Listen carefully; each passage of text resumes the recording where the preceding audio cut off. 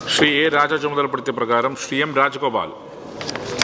Sir ക്ഷീരകർഷകരുടേതെന്നല്ല ഒരു കർഷകന്റെയും സാമ്പത്തിക സാമൂഹ്യ സുരക്ഷ ഉറപ്പുവരുത്തുന്നതിന് എന്തെങ്കിലും പാക്കേജോ പദ്ധതികളോ കേന്ദ്ര സർക്കാരിൽ നിന്നും ഇനി പ്രതീക്ഷിക്കേണ്ടതില്ലെന്നാണ് ഇന്നലെ പാർലമെന്റിൽ അവതരിപ്പിച്ച കോർപ്പറേറ്റ് അനുകൂല കർഷകദ്രോഹ ബജറ്റിലൂടെ മോഡി ഗവൺമെന്റ് ഒരിക്കൽ കൂടി തെളിയിച്ചിരിക്കുന്നത്. സർ ഈ സാഹചര്യം കൂടി കണക്കിലെടുത്ത് നമ്മുടെ സംസ്ഥാനത്ത് ക്ഷീരകർഷകർക്കുള്ള പലിശരഹിത വായ്പാ പദ്ധതി വകുപ്പ് മുഖേന നടപ്പിലാക്കുന്നുണ്ടോ? വിശദമാക്കാം.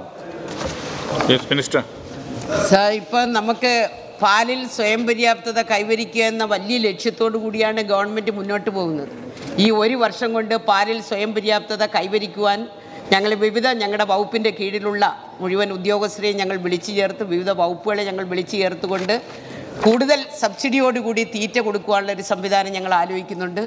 അതോടൊപ്പം തന്നെ ഞങ്ങൾ ചെയ്തത് പലിശരഹിതമായിട്ടുള്ള പലിശ ഇല്ലാത്ത ലോണുകൾ പശുക്കളെ എടുക്കാൻ വേണ്ടിയിട്ട് കൊടുക്കാനുള്ള ഒരു തീരുമാനം ഞങ്ങൾ എടുത്തിട്ടുണ്ട്.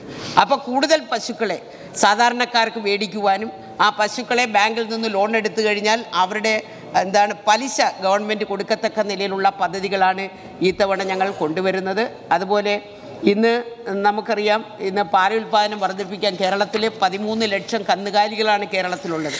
അതിൽ ആറ് ലക്ഷത്തി അൻപതിനായിരം പശുക്കളും കറവയുള്ള പശുക്കളാണ്.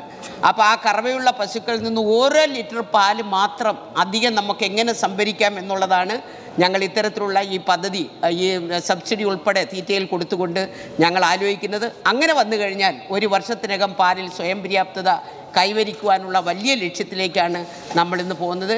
കേരളത്തിൽ ഏറ്റവും നല്ല പാൽ കൊടുക്കുന്നത് നമ്മുടെ കേന്ദ്ര ഗവൺമെന്റ് മൃഗസംരക്ഷണ വകുപ്പ് അല്ല ഇന്ത്യയിൽ നമ്മുടെ എടുത്ത് പരിശോധിച്ച് കഴിഞ്ഞപ്പോൾ ഏറ്റവും നല്ല പാൽ കേരളത്തിലെ മലബാർ മേഖലയിലെ പാലാണ് എന്ന് നമുക്കൊരു അംഗീകാരവും ഇപ്പോൾ. കിട്ടിക്കഴിഞ്ഞു. ആ നിലയ്ക്കാണ് ഈ ക്ഷീര മേഖല ഇന്ന് മുന്നോട്ട് പോകുന്നത്.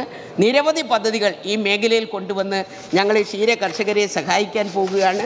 അതിന്റെ ഏറ്റവും വലിയ ഉദാഹരണം നമ്മുടെ മിൽമയുടെ എൺപത്തി അഞ്ച് ശതമാനം ലാഭവും കൊടുക്കുന്നത് നമ്മുടെ ക്ഷീര കർഷകർക്കാണ്. ഈ സാമ്പത്തിക വർഷം മുപ്പത്തിമൂന്ന് കോടി രൂപയാണ് മലബാർ മേഖല കൊടുത്തിരിക്കുന്നത്.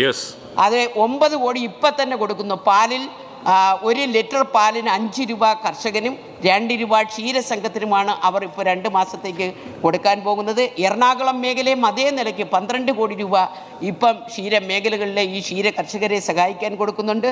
തിരുവനന്തപുരം മേഖല അതേപോലെ മൂന്നര ലിറ്റർ മൂന്ന് രൂപ അമ്പത് പൈസ മുപ്പത്തിയേഴ് കോടി രൂപ അവരും ഇപ്പോൾ കൊടുക്കുന്ന. മൂന്ന് രൂപ കർഷകൻ ഒരു ലിറ്റർ പാലിനും അമ്പത് പൈസ സംഘത്തിനും കൊടുക്കുകയാണ്. ഇതെല്ലാം വരുന്നത് നമ്മുടെ ഈ കേരളത്തിലെ ക്ഷീര കർഷകരെ സഹായിക്കുവാൻ മിൽമ ഉൾപ്പെടെ ഇന്ന് രംഗത്തുണ്ട് എന്നുള്ളത് യാഥാർത്ഥ്യം.